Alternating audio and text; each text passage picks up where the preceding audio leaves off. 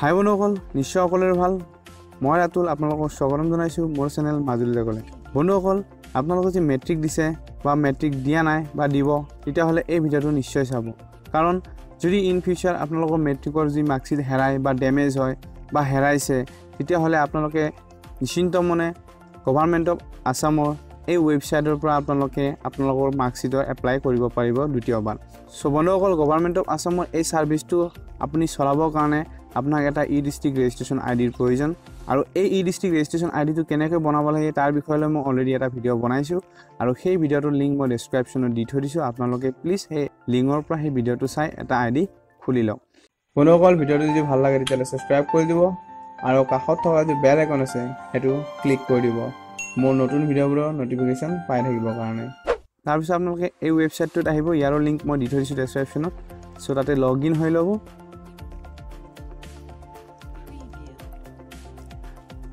লগ in হোৱাৰ পিছত বন্ধুসকল চিলেক্ট বুলি এটা অপশ্যন আহিব তাতে আপুনি ক্লিক কৰিব। চ' বন্ধুসকল আপোনালোকে ইয়াতে টাইপ কৰিব ডি ইউ পি মানে issue of duplicate marksheet issue of duplicate marksheet A S E C বা এছ চি বি এ ছেবাত আপুনি এপ্লাই কৰিব পাৰে। যদি আপোনাৰ ছেবাত হয় ছেবাত কৰিব আৰু A H S E C যদি হয় তেতিয়াহ'লে তাতে কৰিব। চ' মই ছেবাত ক্লিক কৰিছোঁ। চ' বন্ধুসকল ছেবাত ক্লিক কৰাৰ পিছত আপোনালোকে গ' বুলি এপশ্যন পাব ছাইডত তাতে ক্লিক কৰিব। ক্লিক কৰাৰ পিছত বন্ধুসকল তলৰ এটা অপশ্যন থাকিব অনলাইন বুলি এপ্লাই অনলাইন চ' তাতে ক্লিক কৰিব অনলাইনত ক্লিক কৰাৰ পিছত বন্ধুসকল আপোনালোকৰ এটা অপশ্যন আহিব তলত ছাবমিট অনলাইন চ' ছাবমিট অনলাইনত আপোনালোকে ক্লিক কৰক। চ' বন্ধুসকল তাতে ক্লিক কৰাৰ পিছত আপোনালোকৰ এনেকুৱা এটা পেজ খোল খাব তাতে লিখা থাকিব ইছ্যু অফ ডুপ্লিকেট মাৰ্কশ্বিট ছেবা চ' তাৰপিছত আপোনালোকে আহিব ইয়াতে লেখা আছে ৰঙা ষ্টাৰযুক্ত তথ্যবোৰ বাধ্যতামূলক। মানে য'ত ৰঙা ষ্টাৰটো থাকিব তাত আপোনালোকে সেইটো যিটো তথ্য দিবই লাগিব। ত' প্ৰথমতে আছে আপোনালোকৰ প্ৰমাণ পত্ৰৰ ভাষা। চ' প্ৰমাণ পত্ৰৰ ভাষা ইংলিছ চিলেক্ট কৰিব কিয়নো ইংলিছ সকলো জেগাতে চলে আৰু সকলো ভাষিক মানুহে বুজি পায়। চ' ইংলিছটো চিলেক্ট কৰিব। তাৰপিছত আহিব কেণ্ডিডেট ডিটেইলছ প্ৰাৰ্থীৰ বিৱৰণ চ' তাত থাকিব প্ৰথম কেণ্ডিডেট নেম আপোনাৰ নিজৰ নামটো দি দিব। তাৰপিছত আহিব আবেদনকাৰীৰ mobile number so please mobile নম্বৰটো আপোনালোকৰ ভেলিড দিব আৰু যাতে আপুনি নটিফিকেশ্যন পাই থাকে। কাৰণ আপোনাৰ যিটো এপ্লাই এই যিটো এপ্লাই কৰিব এই এপ্লাইৰ গোটেই নটিফিকেশ্যন আপোনাক মোবাইলৰ দ্বাৰা মোবাইল মেছেজ যোগে ষ্টেটাছবোৰ দি থাকিব। তাৰপিছত আহিব আপোনাৰ পিতৃৰ সম্পূৰ্ণ নাম তাৰপিছত মাতৃৰ সম্পূৰ্ণ নাম। আধাৰ নম্বৰ পান নম্বৰ আৰু email Aadhaar number PAN number আৰু ইমেইল এই তিনিটা বস্তুত ষ্টাৰ মাৰ্ক নাই নিদিলেও হ'ব থাকিলে দিব আৰু লগতে ইমেইলটো প্লিজ ইমেইলটো দি দিব কাৰণ ইমেইলতো আপোনাৰ ষ্টেটাছ দিব। তাৰপিছত আহিব ঠিকনাৰ বিৱৰণ। ঠিকনাৰ প্ৰথম শাৰী ঠিকনাৰ দ্বিতীয় শাৰী। চ' এই দুটাত আপোনালোকৰ ঠিকনা দিব পাৰে যদি আপুনি দিব বিচাৰে কাৰণ ইয়াতে বাধ্যতামূলক নহয়। তাৰপিছত আহিব ৰাজ্য জিলা মহকুমা ৰাজচক্ৰ গাঁও আৰু নগৰ। আপুনি চিলেক্ট কৰিব। এইবিলাক বাধ্যতামূলক। চ' তাৰপিছত আহিব ঠিকনাৰ বিৱৰণ। চ' বন্ধুসকল ওপৰত আপুনি যিখিনি দিছিলে সেইখিনি বস্তু যদি একে থাকে তেতিয়াহ'লে আপোনালোকৰ তলত আৰু লিখিব নালাগে। ওপৰত যিটো আছে check if present address is same as permanent address ওপৰত যিটো পাৰ্মানেণ্ট এড্ৰেছ আছে সেইটো যদি ছেম হয় তেতিয়াহ'লে ইয়াতে ক্লিক কৰি দিব। তাৰপিছত আপোনাৰ আহিব বিদ্যাৰ্থীৰ তথ্য। বিদ্যাৰ্থীৰ তথ্য আহিব পৰীক্ষাৰ নাম। আপুনি কি পৰীক্ষা দিছে সেইটো নাম লিখিব লাগিব। তাৰপিছত আহিব পৰীক্ষাৰ্থীৰ ৰকম। মানে আপুনি ৰেগুলাৰ নে প্ৰাইভেট না কম্পাৰ্টমেণ্ট সেই বিষয়ে আপুনি জনাব।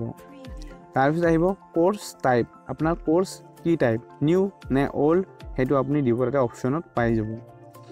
তাৰপিছত আহিব আপোনাৰ ৰুল আপোনাৰ ৰোল নঙৰ প্ৰথম তাতে ৰুলটো লিখিব তাৰপিছত নংটো এইটো ছাইডত লিখিব। তাৰপিছত আহিব পৰীক্ষাৰ বছৰ আপুনি কিমান চনত পাছ কৰিছে সেই বছৰটো লিখিব লাগিব। তাৰপিছত আহিব মুঠ নম্বৰ যিটো বাধ্যতামূলক নহয় যদি আপুনি দিব বিচাৰে দিব পাৰে। তাৰপিছত আহিব পঞ্জীয়নৰ নম্বৰ যিটো বাধ্যতামূলক নহয় যদি দিব বিচাৰে দিব পাৰে। তাৰপিছত আহিব ৰিজাল্ট ফলাফল আপুনি ফেইল কৰিছিল নে পাছ কৰিছিল সেইটো থাকিব। তাৰপিছত আহিব ওপৰৰ উল্লেখ কৰা পৰীক্ষা কোন স্কুলৰ পৰা দিছিল। আপুনি কোন স্কুলৰ পৰা দিছিল সেইটো দিব পাৰে। যদিও এইটো বাধ্যতামূলক নহয় কিন্তু তলত যিটো দিছে ওপৰত উল্লেখ কৰা পৰীক্ষা কোন স্কুলৰ পৰা দিছিল তাতে হয়তো অপশ্যন থাকিব আপুনি অপশ্যনটো চিলেক্ট কৰিবই লাগিব। তাৰপিছত আহিব বন্ধুসকল তথ্যবোৰৰ উদ্দেশ্য। আপুনি কি কাৰণত তথ্যটো দিব বিচাৰে? কি কিহৰ কাৰণে আপুনি এইখন আকৌ বিচাৰে? সেই বিচাৰে অকণমান লিখিব লাগিব পাৰে বা আপুনি লিখিলে হ'ব। এডুকেশ্যন পাৰপাছ বুলি লিখিলে হৈ যাব। তাৰপিছত আহিব আচল প্ৰমাণপত্ৰ কি হ'ল? মানে আপোনাৰ প্ৰমাণপত্ৰটো চুৰি হ'ল নে লছ হ'ল নে ডেমেজ হ'ল? আপোনাৰ অপশ্যন থাকিব আপুনি কৰিব পাৰে আপোনাৰ যিটো হৈছে আপোনাৰ লগত। তাৰপিছত আহিব পে'মেণ্ট টাইপ চ' বন্ধুসকল পে'মেণ্ট টাইপটো চালান ডিমাণ্ড ড্ৰাফটো থাকিব পাৰে বা চালানো থাকিব পাৰে অনলাইনো থাকিব পাৰে। চ' সেইটো যদি আপোনালোকে কৰিছে কৰাৰ পিছত ইয়াতে ফিল আপ বাকী তলখিনি ফিল আপ কৰিব পাৰে। আৰু যদি কৰা নাই তেতিয়াহ'লে ফিল আপ নকৰিলে হ'ব যিটো মেণ্ডেটৰী নহয়। তাৰপিছত আহিব আপোনাৰ সংলগ্ন নথি। ইউজাৰ ফৰ্মৰ সংলগ্ন কৰা। ইউজাৰ ফৰ্মখন বাধ্যতামূলক দিবই লাগিব। এতিয়া বন্ধুসকল যদি আপোনালোকে ইউজাৰ ফৰ্ম ক'ত পায় কেনেকৈ পায় যদি ভাবিছে তেতিয়াহ'লে টেনশ্যন ল'ব লগা একো নাই। মই আপোনালোকৰ ইউজাৰ ফৰ্মৰ লিংক মই ডেছক্ৰিপশ্যনত দি থৈ দিছোঁ। তাৰ পৰা ডাউনলোড দি আপোনালোকে তাত সেই ফৰ্মখনত ফিল আপ কৰিব হাতেৰে আৰু তাৰ স্কেন কপি আপোনালোকে ইয়াতে আপলোড কৰি দিব। তাৰপিছত আহিব বন্ধুসকল scan copy the marksheet in case of partial damage of the original pass certificate আপোনাৰ যি অৰিজিনেল পাছ চাৰ্টিফিকেটখন ডেমেজ হৈছে তাৰ এটা স্কেন কপি মাৰি দিব পাৰে। যদিহে আপোনাৰ ডেমেজ হৈছে। সেইটো থাকিব লাগিব পাঁচশ কে বিৰ আণ্ডাৰত J P G J P E G P N G বা পি ডি এফ ফাইলৰ ফৰ্মেটৰ হ'ব লাগিব। গোটেইকেইটা একেই। কিন্তু এইবিলাকৰ ৰঙা ষ্টাৰ নাইট যিবিলাক মেণ্ডেটৰী নহয় নিদিলেও হ'ব। বাকী এইবিলাক যিবিলাক আছে চ' আপোনালোকে নিদিলেও হ'ব অন্য নথিৰ ক্ষেত্ৰত। চ' মই ইমান কৈ নাথাকোঁ। তাৰপিছতে আহিব নং of page to be printed আপুনি কি এইখন প্ৰিণ্টেড কৰিছে সেইটো ইয়াৰ সংখ্যাত লিখিব লাগিব। তাৰপিছত পেজ অফ স্কেনত আপুনি যি স্কেন কপি দিছে কেইখন দিছে এতিয়া লিখিব লাগিব। তাৰপিছত যিটো নেক্সট আছে সেইটো নিদিলেও হ'ব মেণ্ডেটৰী নহয়। তাৰপিছত কেপচাটো মেণ্ডেটৰী যিটো কেপচা আছে আপোনালোকে খালী বক্সত বহাই দিব। তাৰপিছত যদি আপোনাৰ খোকোজা থাকে কোনোবা ভুল হৈ যাব পাৰে তেতিয়াহ'লে আপুনি প্ৰিভিউ কৰি চাব পাৰে। আৰু বোলে নহয় মই ছাবমিট কৰিম তেতিয়াহ'লে আপুনি ছাবমিটো কৰিব পাৰে। চ' বন্ধুসকল আপুনি এনেকৈ ছাবমিট কৰি আপোনাৰ যিটো হেৰুৱা মাৰ্কশ্বিট আছে আপুনি এপ্লাই কৰিব পাৰিব। ছেবাতে হওক বা এ এইচ এছ ই চিটো আপুনি এপ্লাই কৰিব পাৰিব। চ' বন্ধুসকল আই হোপ আপোনালোকক বহুখিনি কথা গম পাইছে এই ভিডিঅ'টোৰ পৰা। তেতিয়াহ'লে প্লিজ মোৰ চেনেলটো এটা লাইক কৰি দিব আৰু লগতে প্লিজ ছাবস্ক্ৰাইব কৰিব। কিয়নো আপোনালোকে ছাবস্ক্ৰাইব কৰিলেহে মোৰ চেনেল গ্ৰ' হ'ব আৰু মই এনেকুৱা ধৰণৰ ভিডিঅ' আপোনালোকক দি থাকিব পাৰিম। চ' বন্ধুসকল বেছি নকওঁ। ভিডিঅ' দি চাবৰ বাবে অশেষ ধন্যবাদ।